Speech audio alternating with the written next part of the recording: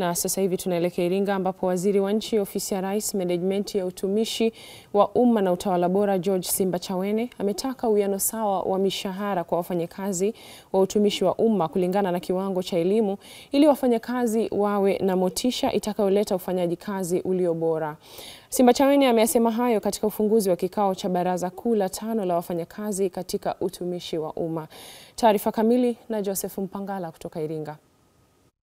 Akifungua kikao cha Baraza Kuu la tano la utumishi wa umma, George Simbachawene amesema kuwa kuna haja ya mishahara ya watumishi wa umma kuwa na uwiano kulingana na elimu walionayo ili kuleta ufanisi katika kazi.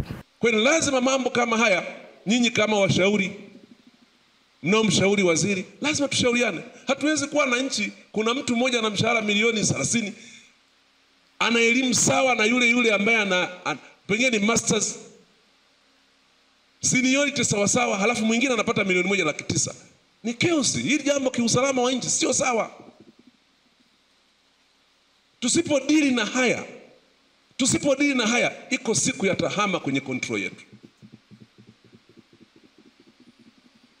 Ni lazima tuufanye utumishi wa umma kuwa utumishi mmoja wenye uwiano. Tofauti itabakia kazi na maslahi zingine, lakini kwenye mishahara lazima kuwe kuna uwiano. Aidha, George Simbachawene ameagiza kuzuia kwa mishahara kwa baadhi ya viongozi wa taasisi mbalimbali ambao mpaka sasa hawajajisajili katika mfumo wa kielektroniki wa usimamizi wa utendaji wa kazi za serikali, kwamba hawa viongozi ambao hawajafanya wajibu wao mishahara yao isimamishwe kuanzia mwezi huu. Lakini kwa wale watumishi ambao hawajaingiza kwenye data zao vizuri kwenye mfumo wa PEPMIS, hawa tuwaongezee muda kidogo, ili wapate fursa ya kuingiza.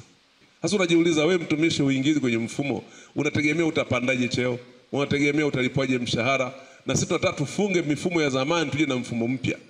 Kwa hiyo kwa hawa viongozi, katibu mkuu, sawa sawa kabisa, simamisha mishahara yao, lakini kwa hawa watumishi tuwaongezee muda. George Simbachawene amewaagiza wajumbe wa baraza hilo kuhakikisha wanatoa ushauri unaostahili katika swala zima la uwiano wa mishahara kwa watumishi wa umma. Mimi ni Joseph Mpangala, Azam News, Iringa.